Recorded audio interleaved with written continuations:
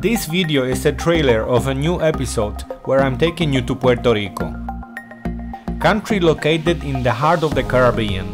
The mix of the three cultures which is making it really special. My goal is to get to the best locations in the island. I'm going to visit all type of beach and I'm sure you are going to find something best for yourself. The closest beach to the capital of the country, San Juan Airport, is the Playa Verde, which is a public beach and it's surrounded by luxury apartments.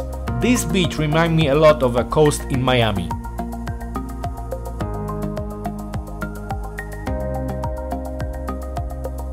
always chasing a white sand beach, not in the cities, outside the cities, and uh, pure nature. If you're watching my YouTube, you probably know uh, what type is my best. In uh, Dominican Republic, I have visited uh, places where they are 10 out of 10.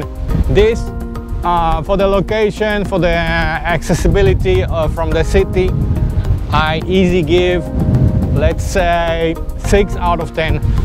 I already know my plan to go to 10 out of 10 in Puerto Rico. Stay tuned and I'm gonna take you there. I'm gonna give you advice how to uh, enjoy your stay in Puerto Rico. To explore the island, I will meet new people and share great moments together. Where from? Me? Dubai. I'm meeting guys from the Middle East and we are having some fun going to see beautiful places and its nature.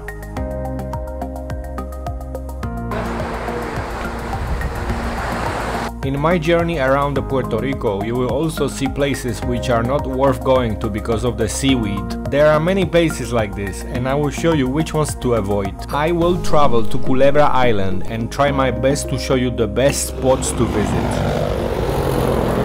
Thank you for calling Culebra Concierge Franklin Culebra. For service, send a text. Thank you. I send a text. Oh my god, that's nice contact. Visit to Flamenco Beach is a must, but this is still not 10 out of 10 for me, so I'm exploring more and more, which gives me understanding how big is the seaweed problem.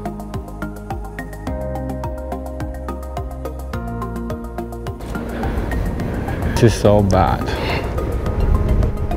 And it smells. I have a new friend now. What's your name? Hey, Jan, From Slovakia.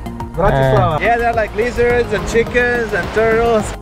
Me and Jan, we are finding some great spots where the nature is so beautiful, but I think I can find even better places. I'm taking a step further and going to places which has never seen tourists before, and that's what I really like to do.